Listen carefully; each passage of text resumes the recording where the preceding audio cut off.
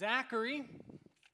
Now, he said recently that he wanted to get baptized, and, uh, and as we were planning that, Josie went to camp and, and, gave her life to the Lord, and so it's exciting to be able to, to baptize them together. Years ago, the other two siblings got baptized on the same day as well, and so it's cool to see how God works. Zach said this about in his testimony. He said that his life before uh, he met Jesus can be described as going to church and learning about Jesus and God, but he didn't understand why people were getting dunked in the water.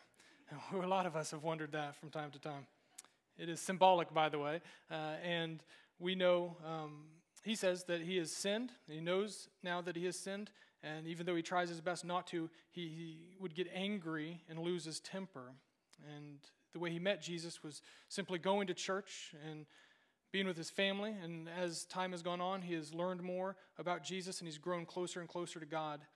And his life since placing his faith in Jesus has been a lot less stressful. And he's wanting to go to church more. He's wanting to invest in his faith and to try and be obedient to his parents and his siblings and his friends uh, to be a better person for them. And so we're excited to celebrate with Zach today. Zach, is it true that you've placed your faith in Jesus as Lord and Savior? Yes. Amen, buddy. Well, it's my honor to baptize you in the name of the Father, Son, and the Holy Spirit. Your sins are buried with Christ in his death, and you're raised to walk in a brand new life.